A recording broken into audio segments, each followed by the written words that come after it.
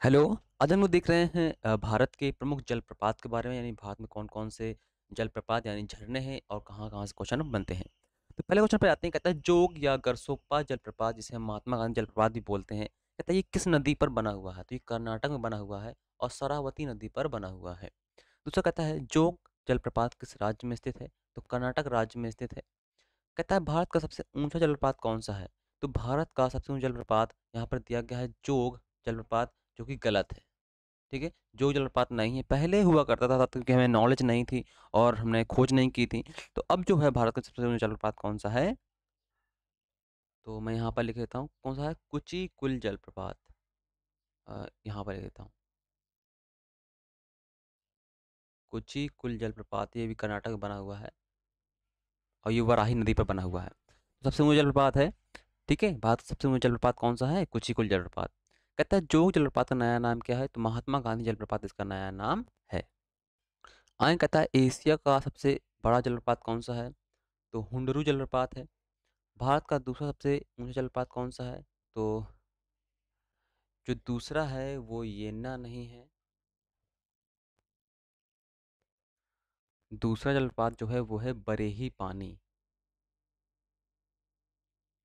बरेही पानी, ठीक है? कहता शिव समुद्रम जलपात किस नदी पर बना हुआ? तो ये कावेरी नदी पर बना हुआ है। एशिया का सबसे बड़ा जलपात हुंडरू जलपात कहाँ पर है? तो हुंडरू जलप्रपात कहाँ पर है? रांची के पास यानी झारखंड में बना हुआ है। चित्रकूट जलप्रपात को अन्य किस नाम जानते हैं? तो चित्रकूट जलपात को हम अन्य नाम जानते हैं वो है नियाग्रा जलप्रपात। वैसे नियाग्रा जलपात कहाँ पर है? ये आपका यूएसए में स्थित है, ठीक है? अगर नियाग्रा जलप्रपात की बात करें तो ये यूएसए में स्थित है।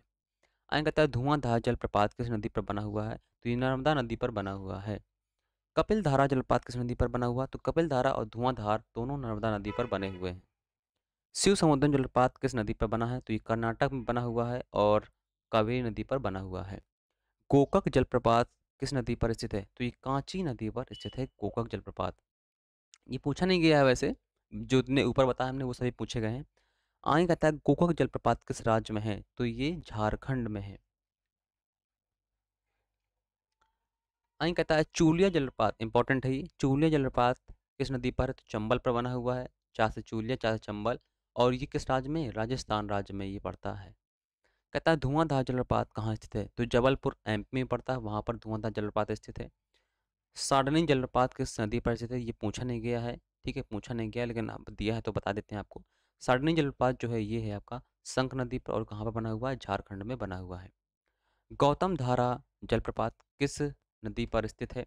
तो ये रारू नदी पर है, ये भी नहीं पूछा गया है। गौतम धारा जलप्रपात किस राज्य में स्थित है? झारखंड में स्थित है, ये भी नहीं पूछा गया है। येन्ना जलप्रपात किस नदी पर है? ये येना नदी पर है और ये कहाँ पड़ता है? महाबलेश्वर में पड़ता है यानी एमपी में पड़ता है ये। कहता है पाईकारा जलप्रपात कहाँ स्थित है? तो पाईकारा जलप्रपात है ये नीलगिरी पर्वत में स्थित है और किस नदी पर बना हुआ है? तो पाईकारा नदी पर बना हुआ है, ठीक है? यानी तमिलनाडु पर स्थित ये होगा। तो ये भारत कुछ प्रमुख जलप्रपात हैं जो ऊपर के हैं जिन जितने इंपॉर्टेंट है वो हमने बता दिए हैं, जो नहीं इंपॉर्टेंट है तो मैंने उन्हें काट दिया है क्योंकि वो एग्ज़ाम में आए नहीं हैं, ना ही ज़्यादातर आते हैं वो, ठीक है? तो जितने बताएँ वो जलप्रपात उनको हम याद रखिए किस नदी पर हैं और किस राज्य पर हैं। तो इस वीडियो में इतना ही, मिलते हैं नेक्स्ट टॉपिक पर, नेक्स्ट वीडियो होगी। Thank you.